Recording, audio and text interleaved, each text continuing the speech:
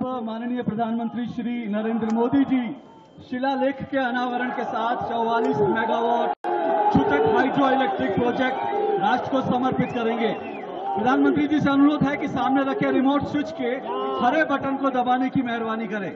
प्रधानमंत्री जी।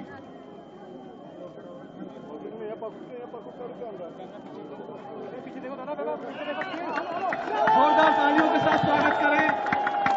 प्रधानमंत्री जी hydro electric project को राष्ट्र को समर्पित किया है और प्रधानमंत्री जी कारगिल शहर की जनता सुबह से ही स्टेडियम में आपको उद्बोधन सुनने के लिए बेसब्र है। आपसे अनुरोध है कि इस विशाल लद्दाख हो या करगिल हो, इतनी बड़ी जनसभा मुझे संबोधन करने का अवसर मिला। हिंदुस्तान में कई लोगों को कल्पना तक नहीं आई।